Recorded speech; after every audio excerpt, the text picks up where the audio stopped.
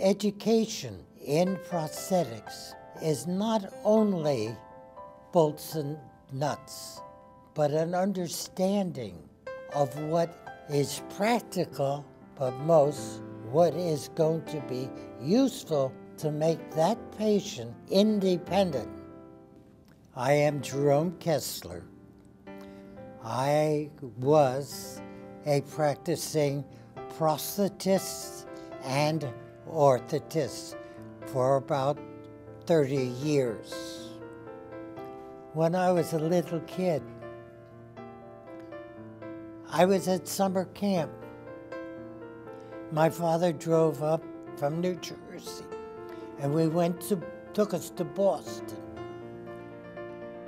And there, he delivered a pair of arms, prosthetics. And the little boy cried. And what's the matter? Is it hurt? What? I thought they were going to be flesh.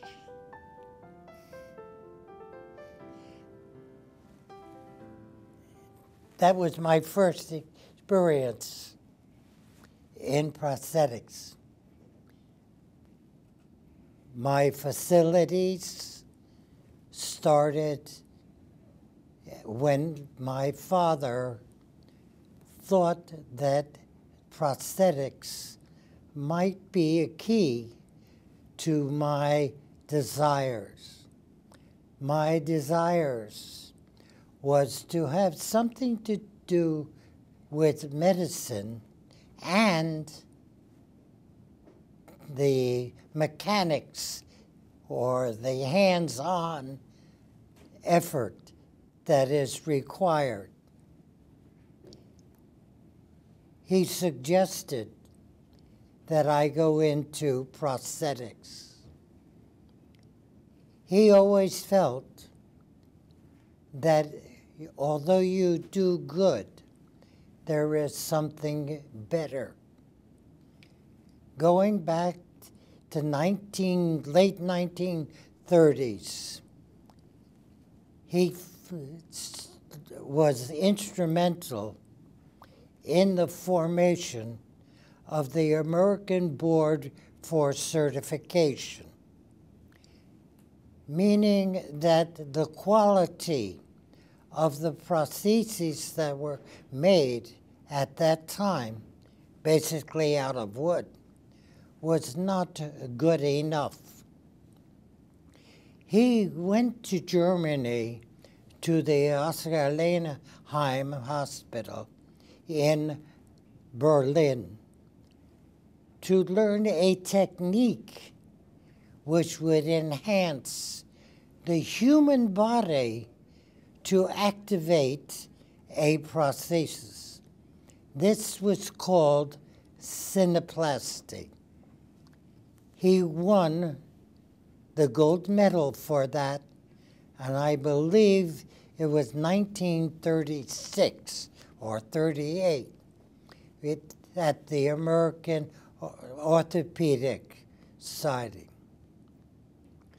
This technique he felt was necessary so that there would be what we call tactile sensation, in that the rather than gross motions of the shoulders to activate opening and closing a hand, that the original muscles that activate your hand closing can be more natural. It even proven to be so successful that he wrote a book called Cineplasty. To anybody who thought this is a crazy idea,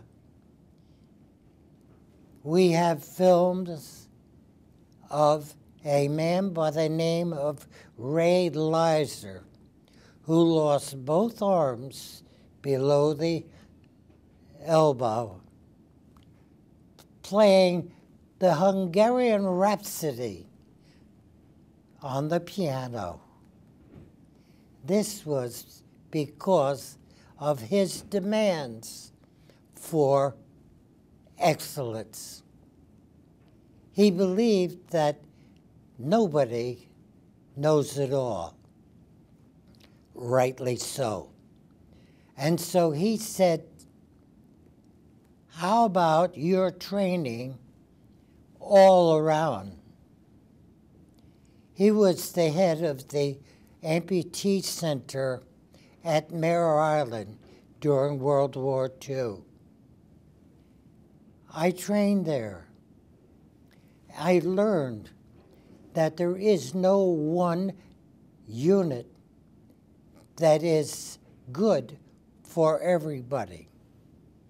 An example was that the hooks or terminal devices that were provided to the sailors and Marines did not supply the infinite mechanics of what they wanted. And so they took these hooks, went down to the machine shop, and reworked them to provide the shape of hook that was necessary. A mechanic is not a farmer. A farmer is not a letter writer. And so each of these had to be designed. And the ingenuity that they provided was the establishment of training. I had the occasion of going to Europe and training at Queen Mary's Hospital for the Limbless in Roehampton, England. That factory or that Ministry of Pension Center comprised of not one firm, but several firms, and was the largest in the world uh, until, and I think I'm right, the Russians came and saw it and built three of these facilities in Russia.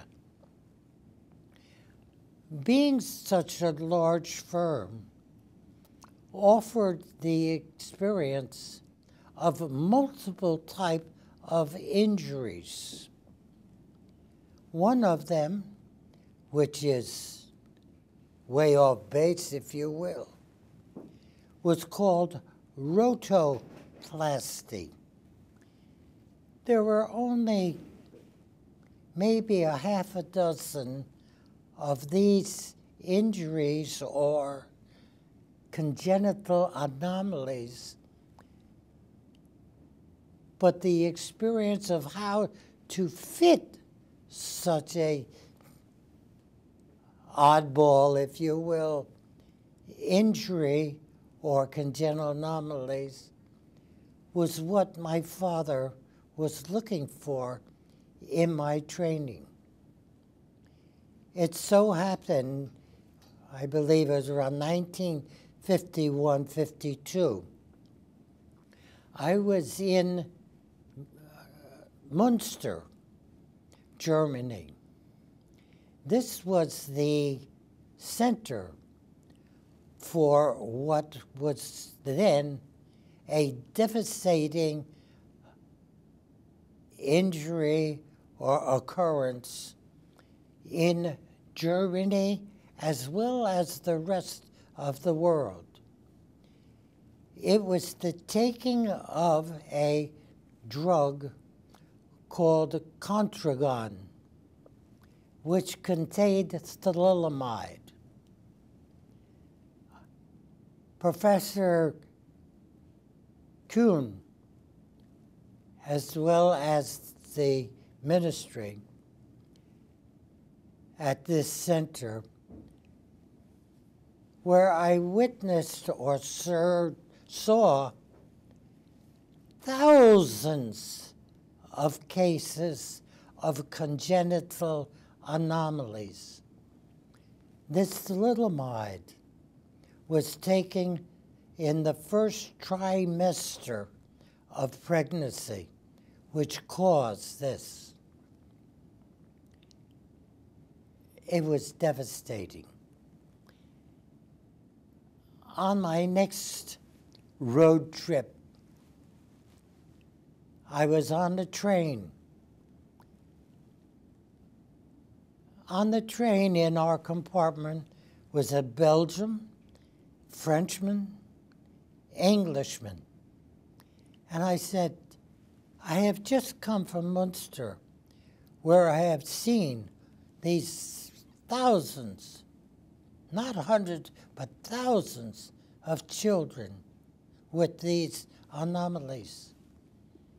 And they all agreed it's true. I couldn't believe it. On my return to the States, after well, about a year and a half in Europe, I told my father. He said, then let's do something about it. And they started the Children's Amputee seminars twice a year. We didn't see 10, we didn't see 20. We saw close to 50 children who were born without arms, without legs, partial arm, partial legs. Within six months, of my return, there was a rehabilitation seminar and exhibit in New York City. We had photographs of these children. They couldn't believe it, but it was true. Some of the children were bright, were beautiful, and they had to be trained two ways. First, physically, second, mentally. But of extreme importance was the education that they receive by other parents and that they were an integral part of what rehabilitation is. My part was to devise some type of prosthetic device that would enhance, not only enhance their life, but make their life practical. I believe the very first person was a little boy named Freddie Thomason. Freddie had no arms. Picture, if you will, a child. I think Freddie was about three when I saw him, sitting on the table, no arms. Okay. Well, how did he balance himself? He had no legs. They were hip disarticulations. So all you had was a body and a head. So the very first thing we had to do, how to get him for training balance we made what we call stubbies. These were buckets, if you will, that went around his hip. They were attached to very short plastic tubes. At the distal end of those tubes was a small platform. The platform, however, was backward, like duck feet. Duck feet are out like this. Not so with the stubbies or duck feet. They were back. Why? Because we learned from the therapists that in balancing, they don't want to go over backwards. It's fine to go forward, but not balance. And so a progression of lengthen these stubbies were instituted. For his arms, I really don't remember. But another boy with hip disarticulations, Larry Kepner from Pennsylvania, he not only did well with the stubbies, that we gradually increased them so that he was tall enough that he played, I don't remember the exact instrument, in his high school band. Sometimes it is not feasible to make limbs for him like that. We have made a Pang. Made a Pang had what we call phocomelia, meaning that the hands were coming out of her shoulders. She had rudimentary feet and short thighs. What do you do? You don't make limbs for them. You don't take those feet away because those feet are hands. So that made a Pang could feed herself with her feet. For her arms,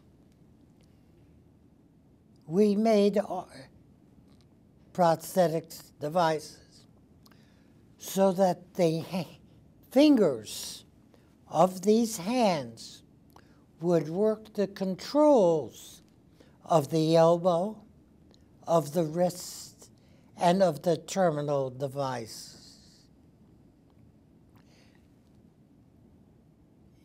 It's a combination of different things. Prosthetically, we had to devise, uh, not us, but everybody, special terminal devices. This was the, what they call a wafer hook. Instead of a prong, it was a round disc so that it was like fingers not spikes, but fingers. These were some of the things that were developed. With the invention or discovery, and mostly the Germans in Munster, they had um, forgot the name, myoelectric. Myoelectric prosthetics was that there is an electrical impulse of the remaining or residual amputated side, which, when thought to activate, created an impulse to a terminal device so that if I thought, hey, I want these muscles to close that hand, it would do so. These are some of the more recent developments. We call the bionic arm. This is the electrodes that were in it, along with special fitting techniques. These were done over years. Professor uh, in Germany were instrumental in this. Development of prosthetics in California. Hosmer, Dorrance, Realistic. These were new developments. The original arms were Fitch arms. These were metal. And they were used at Mare Island until the development of new techniques. We have Hanky Mouse out of Ohio, which created and started new needs. Hosmer in California, a technique of transfer jigs. Transfer jigs were wonderful. And when I was in Copenhagen, a Mr. Stockholm used the expression, we use this to try and prevent or create idiot proof so that the technicians that were transferring a socket to the leg didn't make mistakes. I had a wonderful teacher, not so much in the technical side, but in the practical side. My father was, I believe, in Stockholm, Sweden, at a conference. And I said, Pop, I found the girl I want to marry. He said, for God's sakes, don't do anything till I get there. When he met Dory, he said, Jerry, if you don't marry her, I will. We lived in rehabilitation on the practical side by my marrying Dory. She taught me first because she was a perfectionist like my father. She taught Robin how to sew, Robin, my daughter. And Robin was very proud, and she showed the, the garment to my wife. And Dory looked at it and said, Robin, is that the best you can do? With tears in her eyes, Robin took the garment, redid it, and showed it to Dory. And Dory said, Now, isn't that better?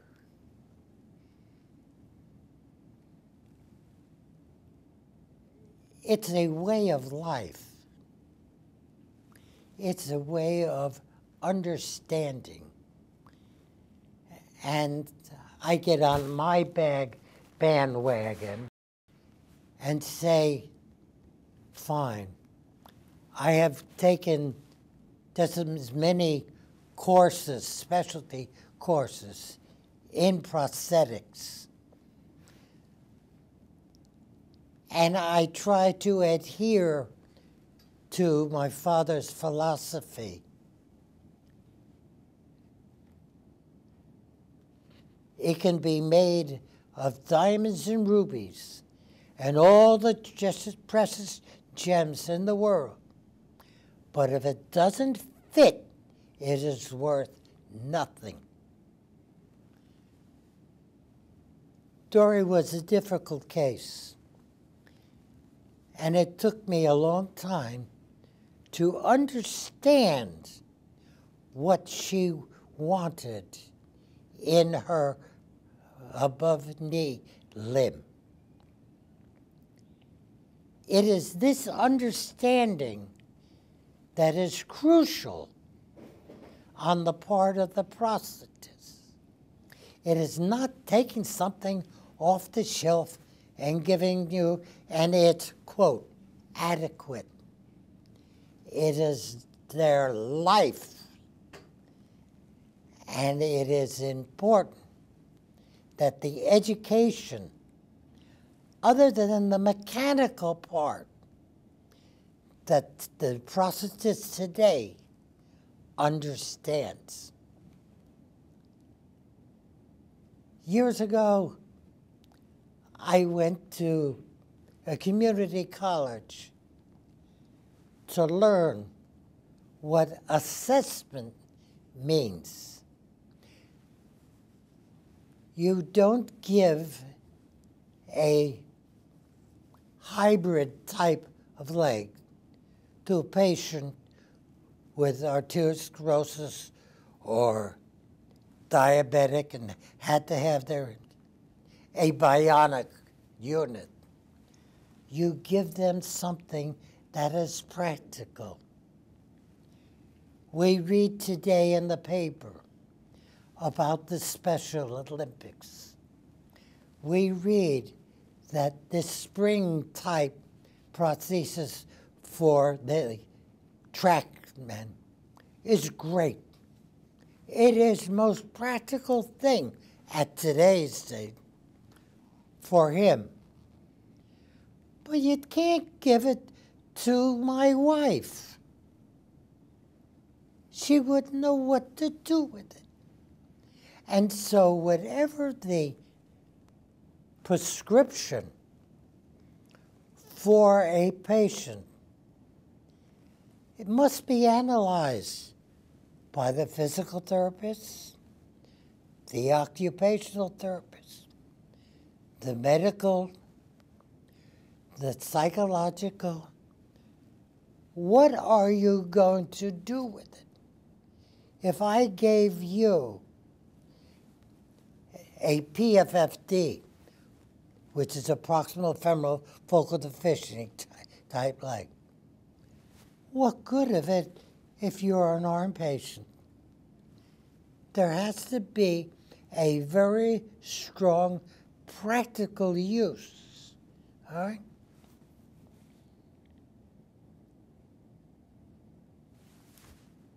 I've said what I've said. That education in prosthetics is not only bolts and nuts, but an understanding of what is practical, but most what is going to be useful to make that patient independent. Whether you use a SACH foot on them, a multi-actions, etc. Whether the knee that you use is a hybrid, is a single axis, is a polycentric. You must determine ahead of time of the, whole picture to fit not only the residual limb, but the person, their life, their personality,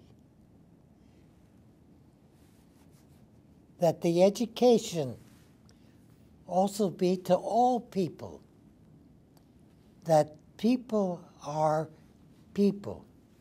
You have to fit the total person with what is practical and what is desirable of the patient. It's not a one way street you must offer them a category.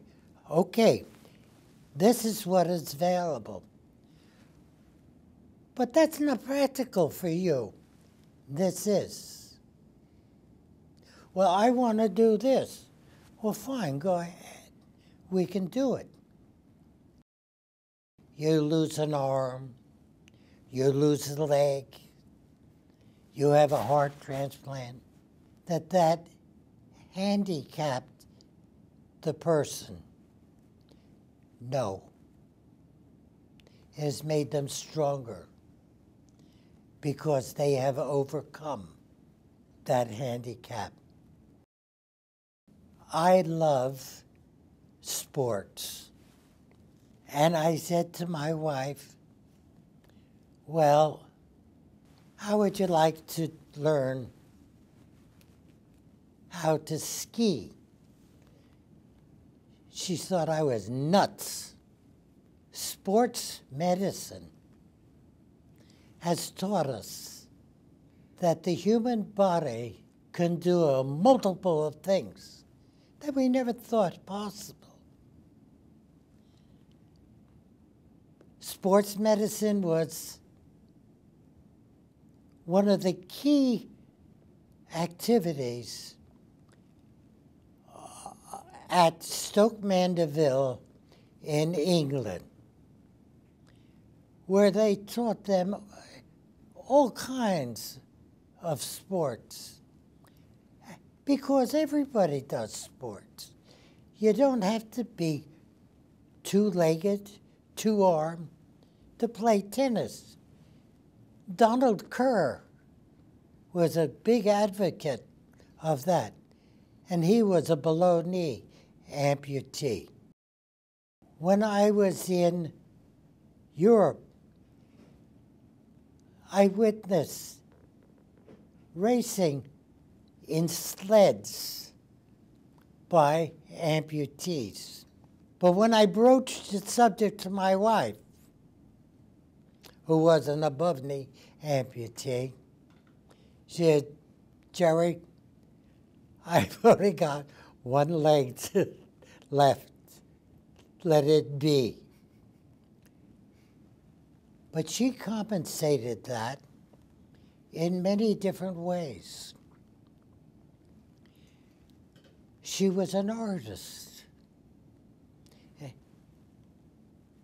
She was knitter. She sewed dresses, made dresses for our daughter.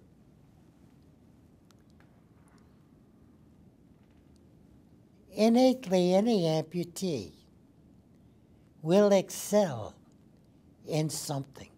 What it is, who knows? But they will excel. And so,